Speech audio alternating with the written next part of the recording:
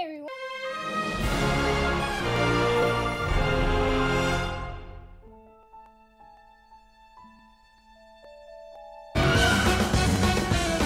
Hey everyone, I'm back.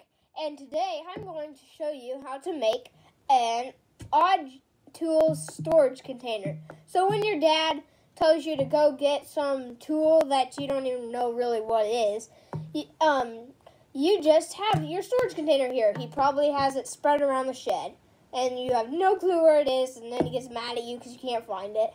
But so here it is. A really helpful thing for me because that's exactly what my dad does. So all you need is a pop bottle. And so what you want to do is you want to have a knife with you that can poke holes in the bottle. So I'm just going to poke a hole right through there like that. Twist it around so you can fit something through it to hang up on the wall. And then do that on the other side, right across from it. Like that. And then there you go. You got your two holes through there. Make sure you can like slide your knife through and twist a little bit. There you go. Now you've got a hole to stick through to hang it on the wall. And then you'd want to stab it through the container like kind of in the middle. Um, it's pretty tricky, but you'll get it.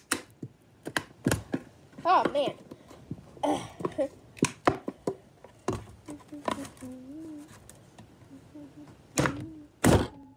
Okay, I got it.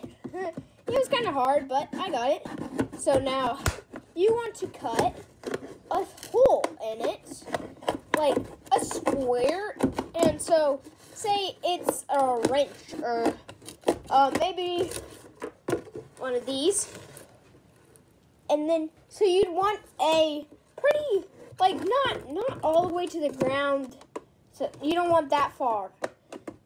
Um, but then you want a pretty decent sized hole and cut through it. And then there you go. You go to your wall wherever your parents let you and hang, or wherever you want it, and hang it up um, there. So there you go. Look at that. Got a hole through it. And then you can just hang it up. Pretty awesome. See you later.